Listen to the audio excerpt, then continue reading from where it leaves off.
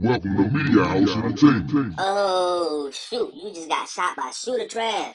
Yo, yo, this your boy Shooter Trav. Welcome to Media House News. In today's video, we're reporting about Cam'ron losing a lawsuit to a photographer. For those that's unaware, this legal action came from photographer Jamila Cochran in April of this year. She was the one who took the iconic 2003 picture of him in a pink fur coat with the pink hat and a matching pink flip phone. Earlier in 2023, Jamila sued Cam'ron for using this picture on his clothing brand merch without getting the proper copyright and licensing. The merch included t-shirts, jewelry, a pair of shower curtains, pillows, and swimsuits. Allegedly, he and Dipset Couture ignored multiple infringement warnings and never responded to the lawsuit outright. Now the photographer seeks $57,000 as part of her awarded default judgment, plus $10,000 in legal fees. Not only that, but she wants to audit Cam'ron's brand for all the merch with this picture that he sold so she can access these profits. My thoughts is photographers are artists too